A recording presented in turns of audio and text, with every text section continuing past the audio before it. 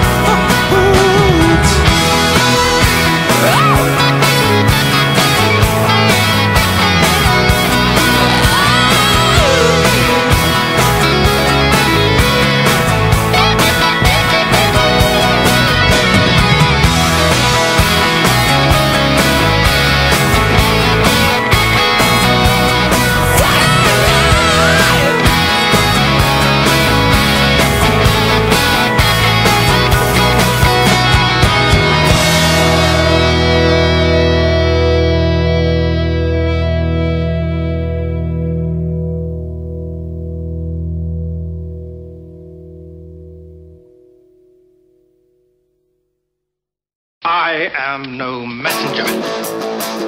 But I will give you a message. A message of death.